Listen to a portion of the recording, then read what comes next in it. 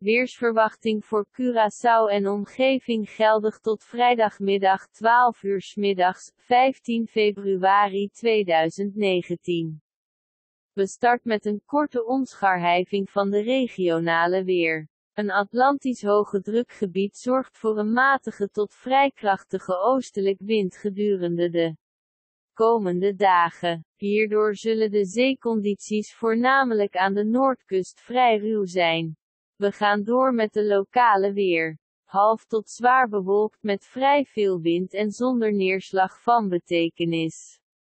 De verwachte maximumtemperatuur zal 30 graden Celsius zijn en de minimumtemperatuur 24 graden Celsius. Zonsopgang is om 2 voor 7 ochtends en zonsondergang om 12 over half 7 s avonds. Het wind kan oostelijk en matig tot vrij krachtig. Windkracht 4 tot 5, 20 tot 39 km per uur. 11 tot 21 knopen. Af en toe krachtig tot mogelijk hard in uitschieters. Windkracht 6 tot 7, 40 tot 61 km per uur. 22 tot 33 knopen.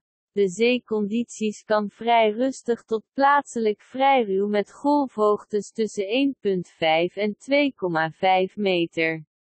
4 tot 8 voet. In verband met de plaatselijk vrij ruwe zee is één voorzorgsmededeling. Code geel. Van kracht. Zwemmers en opvarenden van kleine boten dienen hiermee rekening te houden en zich niet ver uit de kust begeven. De vooruitzichten tot zaterdagmiddag kan overwegend half bewolkt met op de meeste plaatsen droog weer. Het volgende weerbericht in het Papiamentu zal worden uitgegeven om 5 uur s middags URLT. Deze verwachting is samengesteld door meteoroloog Rombly. Dit is een service van de Meteorologische Department Curaçao. En download onze app voor Android en iPhone.